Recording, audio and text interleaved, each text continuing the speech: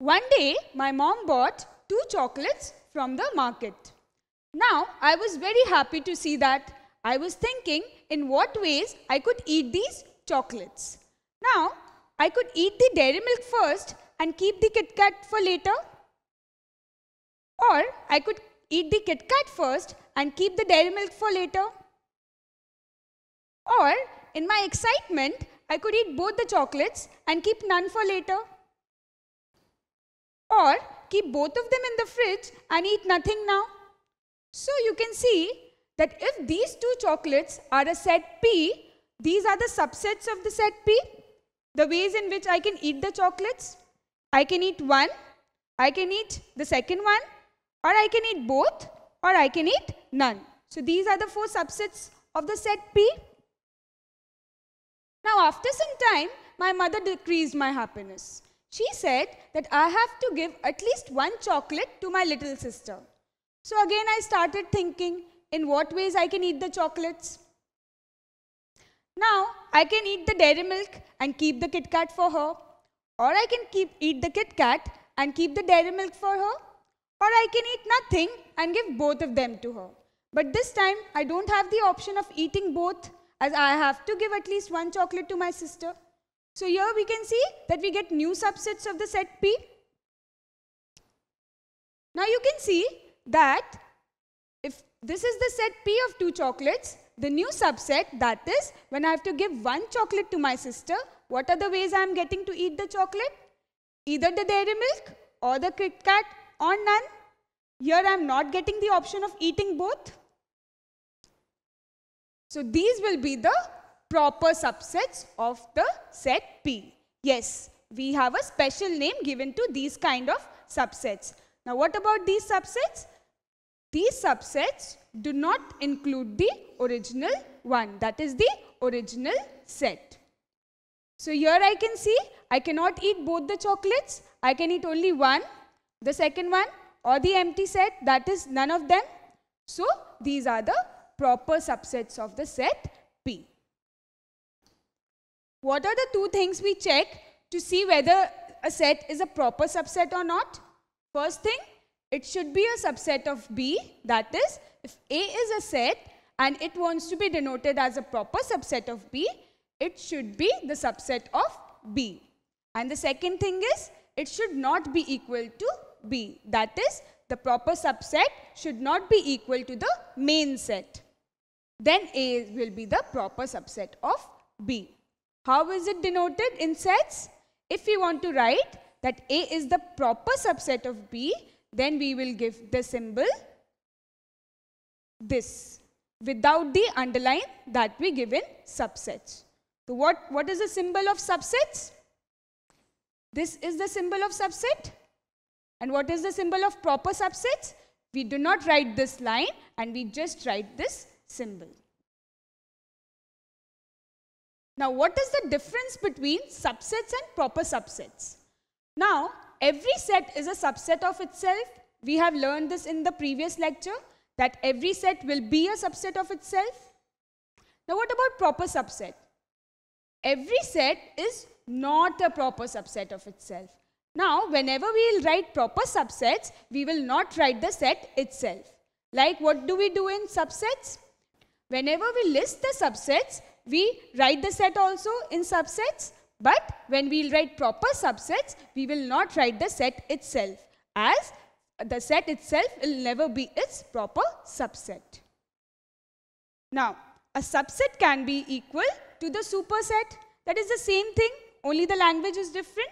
That a subset will can be equal to the main set. But a proper subset is never equal to the superset. That is, if this is a proper subset, it will not be equal to the main set. Now, B is a set with these numbers and A is a set with these numbers. Can you tell me whether A is a proper subset of B? Try it out. Now, we know that a set to be a proper subset, it needs to fulfill two conditions. The first condition is it should be a subset of B. Well, let's check is A the subset of B? To be a subset, every element of A should be there in B. So let's check whether each element of A is there in B. 3, present. 5, it is also present. 7, 9, 11. So we can see that each element of A belongs to B as well. So A is a subset of B. This condition is fulfilled. Now we'll check the second condition. What is the second condition? That A should not be equal to B. For a set to be a proper subset, it cannot be equal to the main set. So let's see, is A equal to B here? Well, all the elements of A are there in B, but all the elements of B are not there in A. So both these sets are not equal.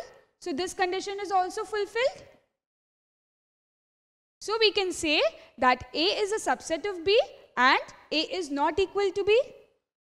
It is a subset but it is not equal to B. So it is a proper subset.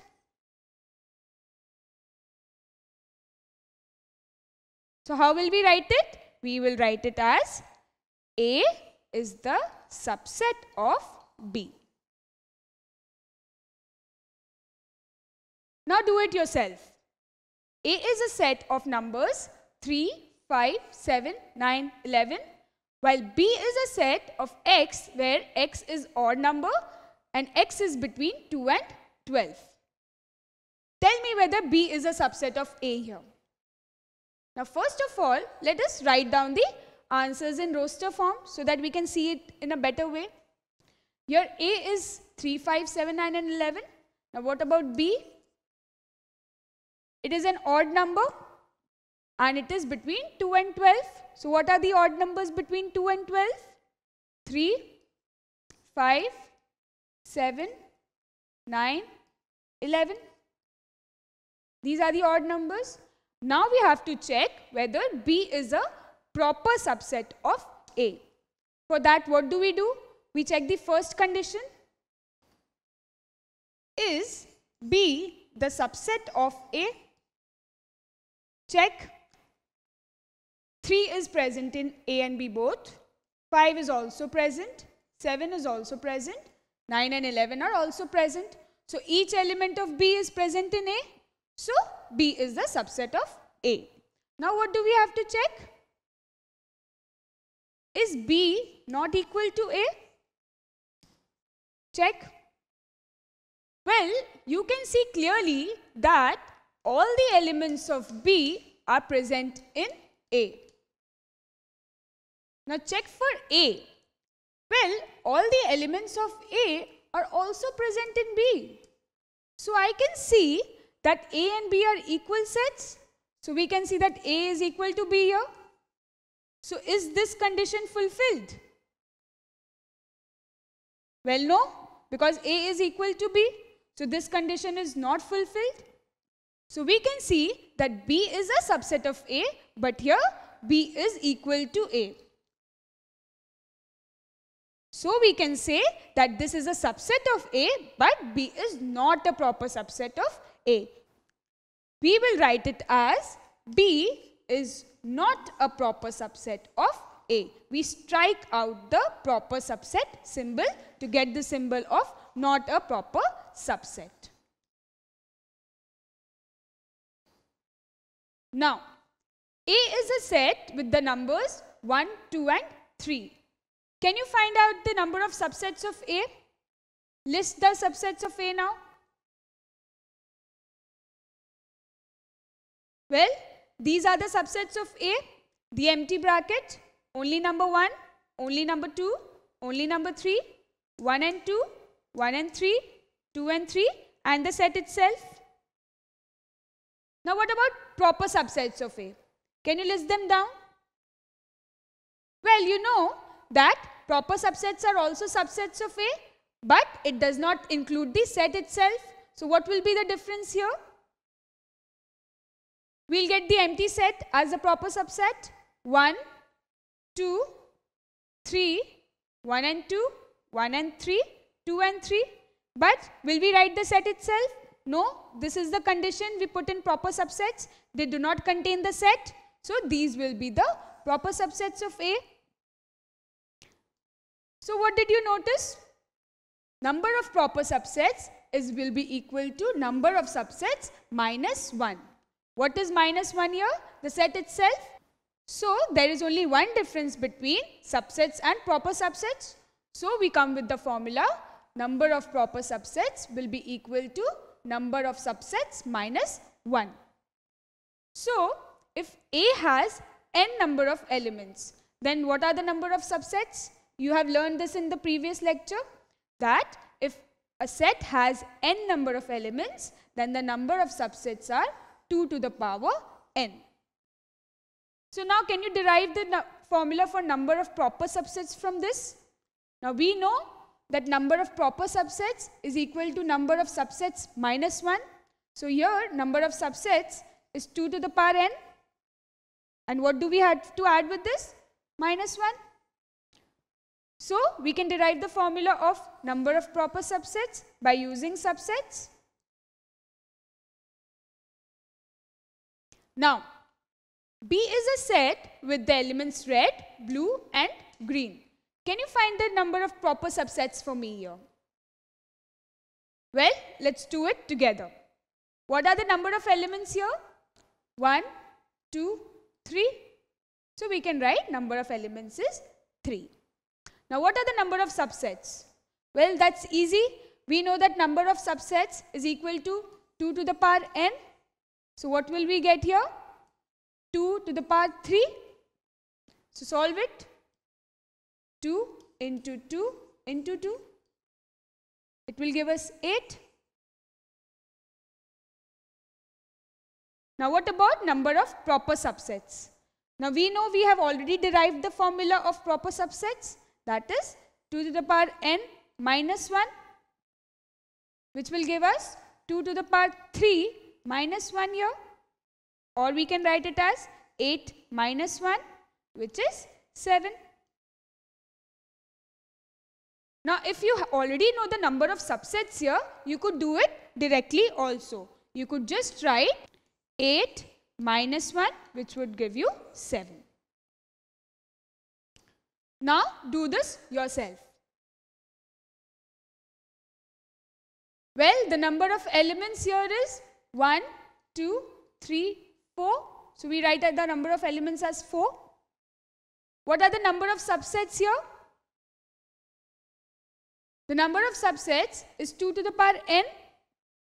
That is 2 to the power 4. So what will we do? We will multiply 2 with itself 4 times. 2 into 2 into 2 into 2 which will give us 16. Now we know that number of proper subsets is number of subsets minus 1. So what will be the formula?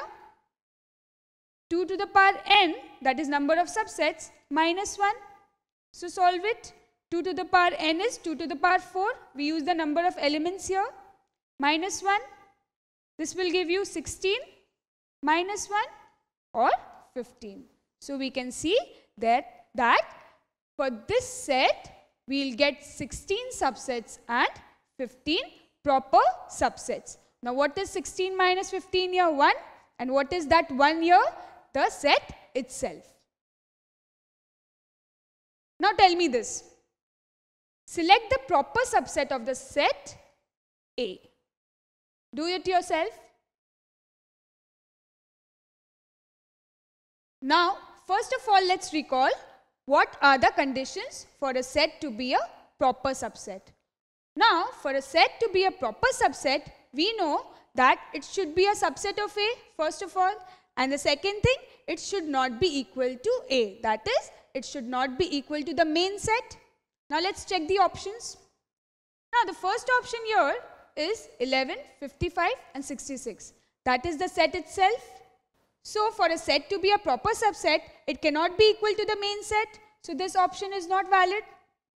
Now the second one, only number 6. Now can you see the 6? Can you see the number 6 in this set? No? So this set and this set is not connected at all. It has no link to do with it. It is not even the subset of A. So how can it be the proper subset of A? So this option is also not valid.